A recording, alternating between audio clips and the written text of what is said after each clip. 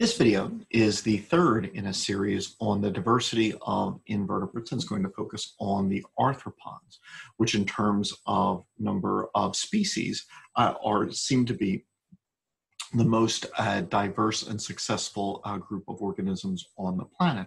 Uh, nematode worms, which we are discovering more and more, might challenge uh, them, but in other words, uh, they are probably the most successful, and if not, then certainly within uh, uh, the top two. This is a tardigrade, uh, a water bear. Um, it is an almost arthropod. And so among the uh, groups of invertebrates, nematode worms also molt. And so they are put in a group called ecdysozoans with the arthropods. And then also within this group are two minor uh, groups, the tardigrades like this, and also uh, the velvet worms, um, which have some arthropod features, not enough to actually consider them arthropods, um, but nevertheless, uh, uh, arthropod features seem to have evolved in stages, both with these living organism comparisons and in the fossil record. And so uh, these have some but not all of the features of arthropods, like segments, uh, limbs, and uh, etc. Uh, they are extremely resistant to environmental changes, have even been able to you know, survive in the conditions of uh, space. And so you know, they are uh, truly remarkable in, um, in many ways. Um, but once again, the uh, many animals are microscopic or very small. So we often, you know, think of animals as being these large things like cats, dogs, bears, people, etc. Um, but many animals are uh, much, much smaller, and actually, uh, many require microscopes uh, to see them. From arthropod-like uh, organisms evolved uh, the first arthropods uh, by the Cambrian period 500 uh, million years ago.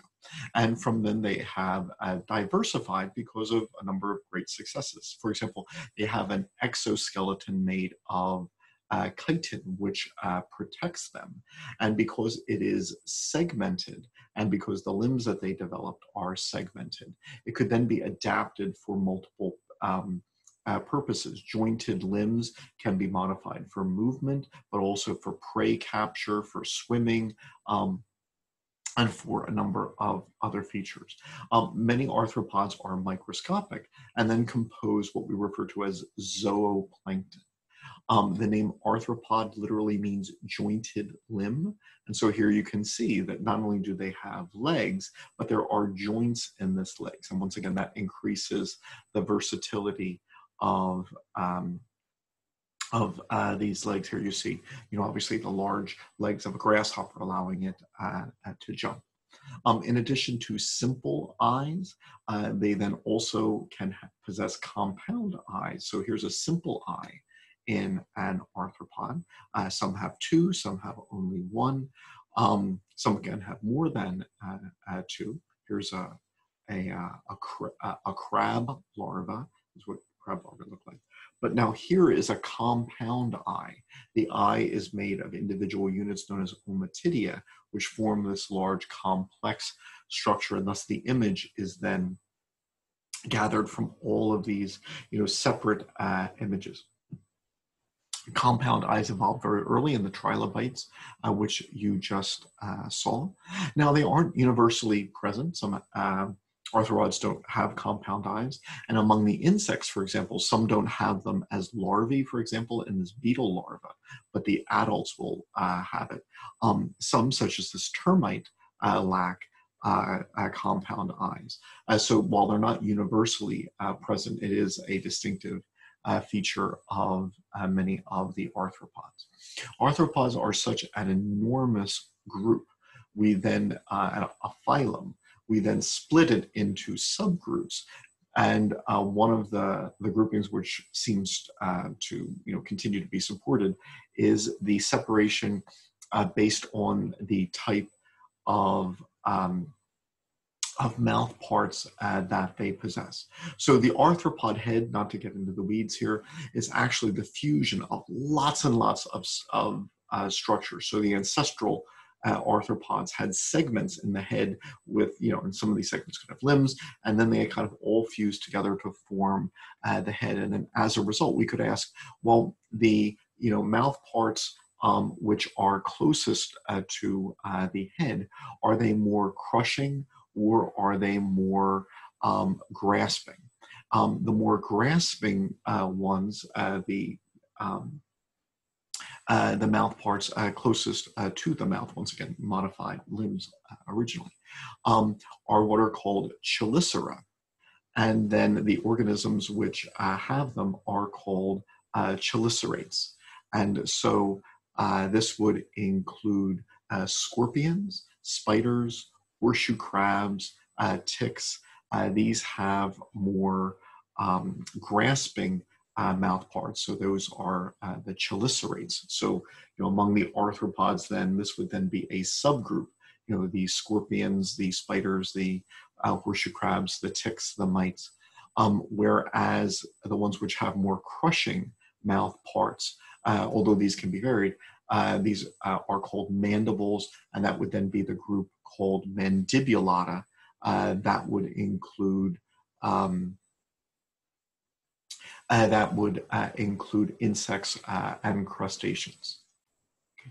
I apologize. Somehow I a video skipped right to the, the one that followed it. Uh, so once again, uh, just in ancestral arthropods, the head was constructed by the fusion of lots of complex, of individual structures. And the head got more complex over uh, time. And so you know, organisms like this uh, were almost arthropods. So they had some features, but they had not you know, all fused together to form the arthropod uh, head. And among the arthropods, we have scorpion spiders, ticks, horseshoe crabs, trilobites uh, from the fossil record that have more uh, grasping mouth parts. So let's look at this scorpion and look up close. So that's what its mouth parts uh, look like. Um, if you were to look at a spider's uh, mouth parts here or a tick's, um, they uh, seem to group together as opposed to the mandibulata, which include uh, the crustaceans, the insects. Uh, so there is a, termite. Here is the mouth parts of a um, a crab and a centipede and a millipede. Uh, now, more mouth parts can be varied, but once again, you know, this is a, a basic grouping, and within the arthropods into these uh, two subgroups. Uh, the horseshoe crabs are very similar to the uh, fossil uh, trilobites, uh, which once used to exist. Um, so they are uh, fossil uh, chelis, uh, chelicerates. If you want to know what a you know trilobite might have been like, the horseshoe crab gives you the best you know view of of this. They were more variable in the past, but we still have some alive uh, today um, uh, from the chelicerates which began in the water. So, for example, even scorpions began in the water. There were sea scorpions, uh, which some of which could get to be more than 10 feet long, long before there were land scorpions. Um, uh, from this group uh, uh, came a group which came out onto land, which would include uh, the spiders. Now, spiders are quite uh, diverse uh, group, which are predators. I think there might be one exception, which can feed on plant material, but apart from that, um, essentially uh, their mouth parts inject digestive enzymes into the prey, and then they can absorb the uh, uh juices from their prey after uh, you know those enzymes have processed um, uh, their their prey inside the prey's body. Um, here we see a, a spider with uh, all of its young. Here we see a, a spider preying on a, uh, a dragonfly. Um, uh, and so uh, these uh, are predators. we know that they can make silk, but not all spiders do. And so um, spiders, they belong to larger groups uh, and their group other group members don't make silk so this would be ticks mites, um, and then would include uh, even the harvestman. Uh, so what people call a daddy longlegs. It's a spider, but it's distantly related to all other uh, spiders. So, you know, spiders, then there are groups within groups. Um, some spiders are merely hunting spiders uh, where they uh, don't uh, make uh, silk. Um, some silk uh, um, that is made doesn't really form a web, but more like a trip line. And so, if an insect were to, you know, strike the uh, uh, the trip line, uh, then the uh, the spider knows, you know, to come out and to um, uh, to uh, grab hold of it. the oh, um, some silk forms webs. Now, silk is incredibly strong, hence the Spider-Man movies. And that uh, clip that you just saw was explaining the molecular structure of the silk proteins with their beta-pleated sheets, which allow for such uh, strength. Um, some uh, spiders uh, simply make a mass of uh, strands forming a web, but then others uh, are more advanced and can then make very precise um, and distinctive web patterns for, K, uh, for uh, prey uh, capture.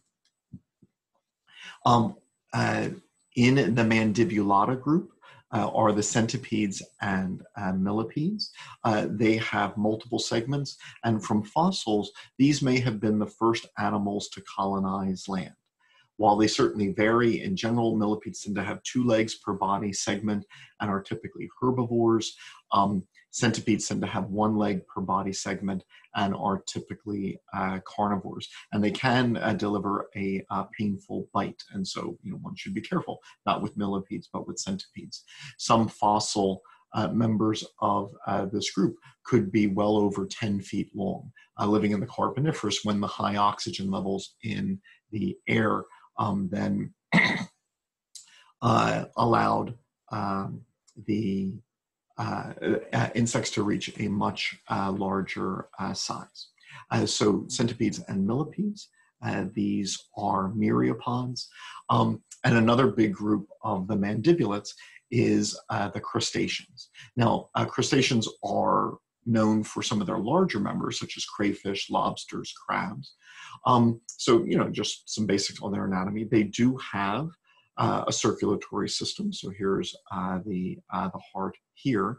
Um, the circulatory systems uh, can uh, be open circulatory uh, systems, as in insects, where the fluid doesn't always stay in blood vessels. Therefore, the heart doesn't have to be very big or strong because it's not pumping all throughout blood vessels. Once fluid is in the body cavity, then movements of the body can help to pump them as well. Here are the gills of a crayfish.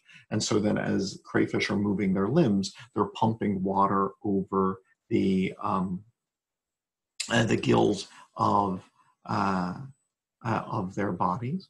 Um, and then they have a digestive system, which, um, like most invertebrates, will then reach the very tip of their tail. So their intestine ends where their body uh, ends. And so they have um, an intestine which runs the tip of the body. The anus is at the tip of the abdomen, and that will then be different from the scenario which we see in uh, the vertebrates and the chordates, where there is a post-anal tail as one of the distinctive uh, features uh, of uh, the chordates.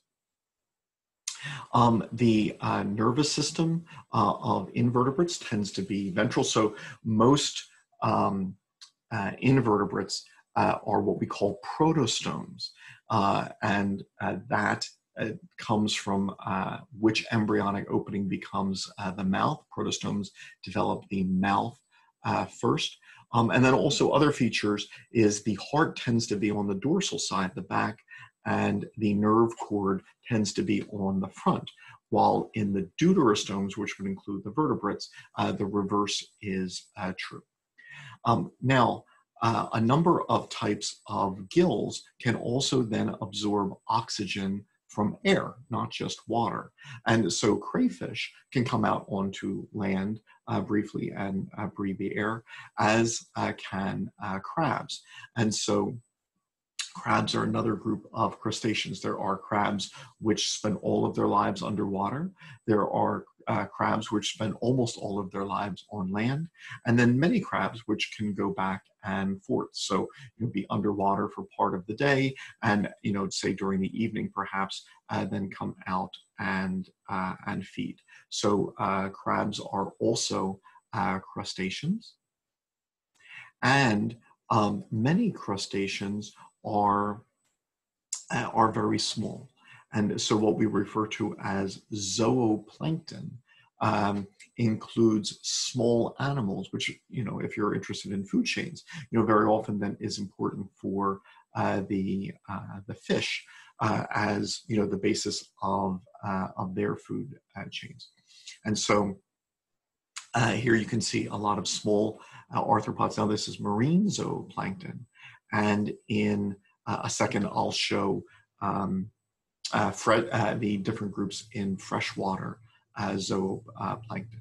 Uh, and so, you know, for example, here you see lots of little fish. What do little fish eat? Uh, well, they eat, you know, in addition to uh, algae, they can also feed on very small animals, many of which need to be seen under uh, a microscope. These are all arthropods with an exoskeleton and the jointed limbs, uh, which define uh, the arthropods. Here you can see a young crab, so crab larvae uh, are uh, common elements in zooplankton. Now, uh, these legs, as all arthropod legs, can then uh, be adapted for a variety of uh, purposes. And so, whether it be crabs or crayfish and lobsters, obviously, they can modify some of their, their front limbs uh, for prey capture and for defense. Also notice that while crayfish are typically um, aquatic, um, you can uh, see them coming out on uh, to land uh, here. So here's you know a crayfish demonstrating its you know pinchers, which you know it can use uh, for uh, defense. Now, because arthropods are the most diverse organisms on planet Earth, obviously this is not the place to attempt to you know go through all of them uh, by any uh, means. Um, however, uh, here you can see that I have another uh, playlist on freshwater food chains, just trying to introduce that if you were to just, you know, go looking in the pond near you, you would be amazed at how many diverse living things that you could find. If you have a microscope, then obviously uh, you could find uh, many more. And so whether we look at the branchiopods, such as Daphnia, whether we look at ostracodes, which almost look like little clams, um, but the exoskeleton then kind of forms a hinge around uh, these um, as small uh, crustaceans. Uh, so they can obviously close uh, this exoskeleton uh, around them and, uh, and protect themselves.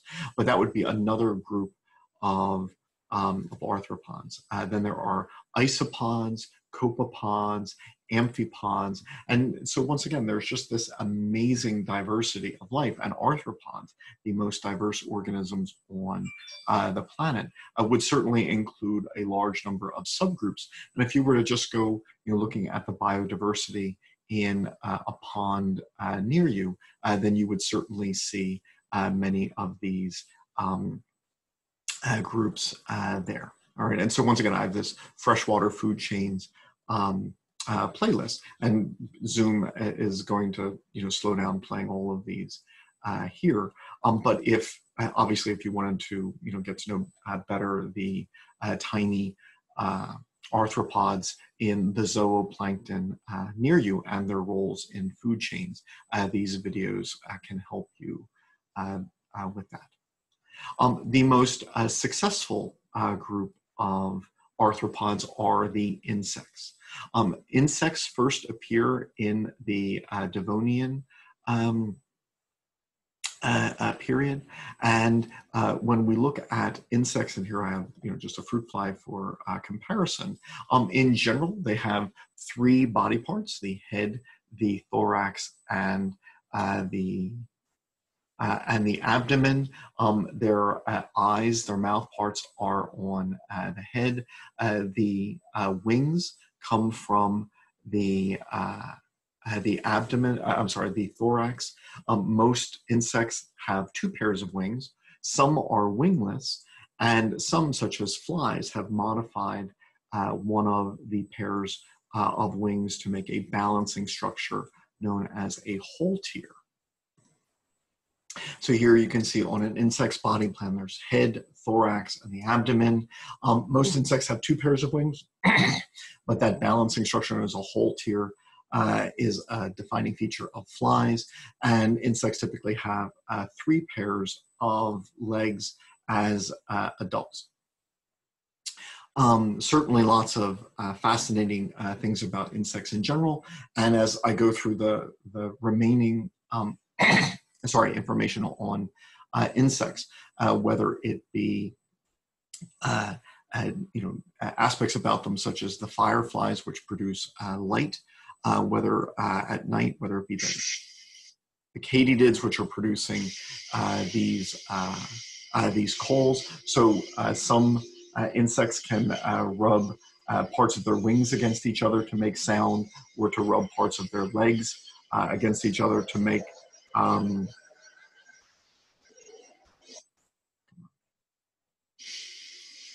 uh, to make sound. Um, so I have videos with these. Sorry that if you watch the video, obviously it makes more sound.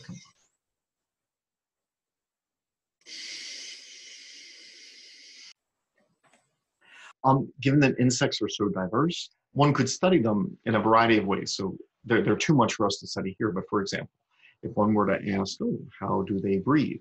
Well, you would be met by variation. So for example, many insects have on, say, the sides of their body or their limbs have these openings known as spiracles, uh, which let air in. And so that would be how uh, they uh, breathe.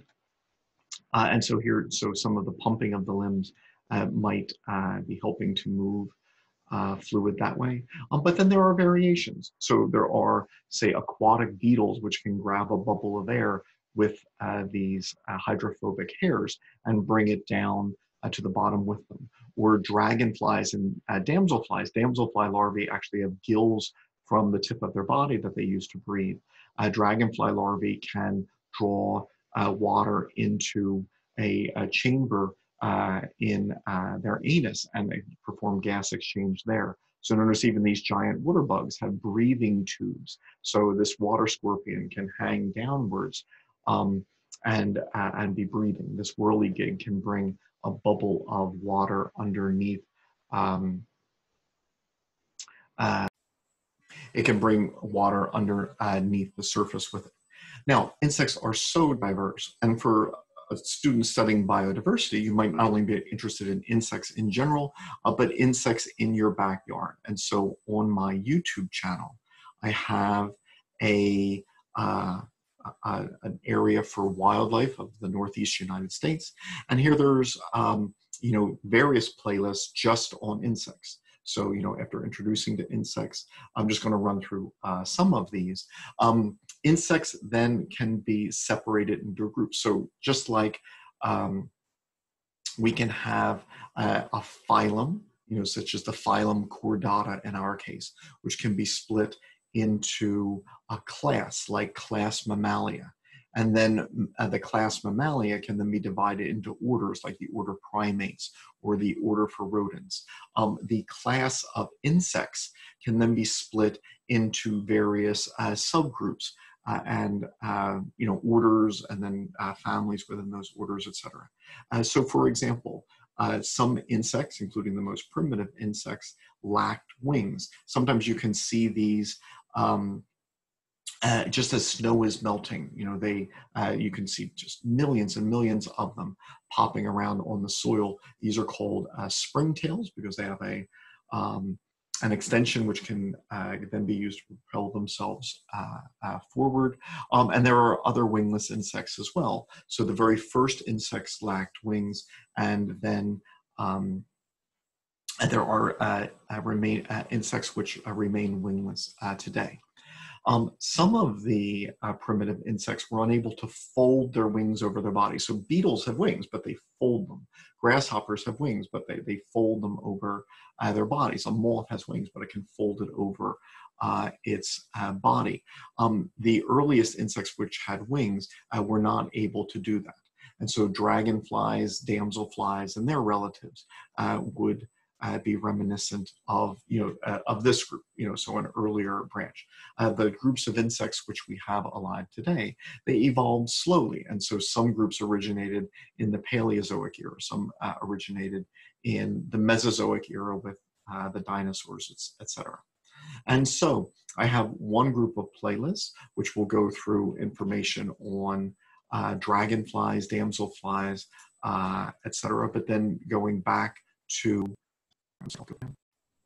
and so on my YouTube channel, uh, Dr. Jahn uh, 41, I have an area which is wildlife of the Northeast. And in it, I include playlists for insects. So, you know, I have videos on dragonflies and damselflies.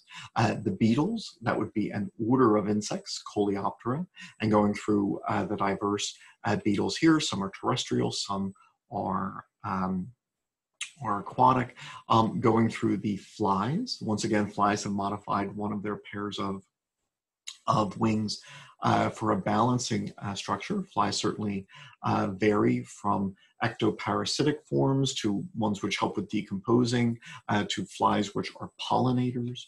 Um, there's an order of insects known as Hemiptera with piercing uh, mouth parts, and this would include many which uh, live in uh, aquatic environments.